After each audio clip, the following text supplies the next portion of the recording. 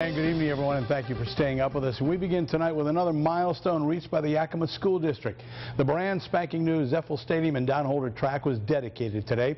And as Claudia Ramos tells us tonight, this was a long time in the making. And she has our big story.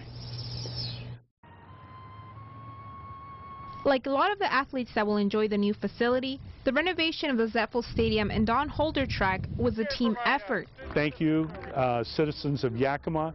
Thank you, uh, the, the voters who uh, believed in us and um, all of the positive comments whenever we've had those struggles financially or getting things done. We've had many supporters that call and say, keep it going. We know that it'll work. The facelift at the stadium cost the Yakima School District nearly $4 million.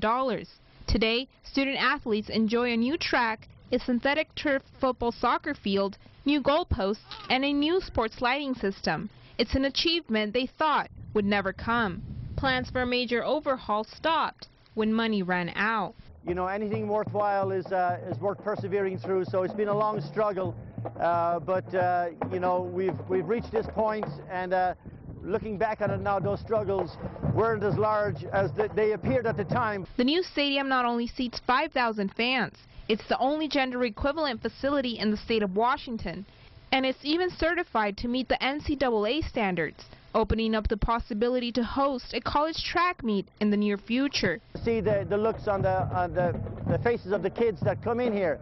They're just you know, they're just in awe of the, of the entire facility. They've never been on something like this. And wait until this fall, when the final pieces will be complete, just in time for football season.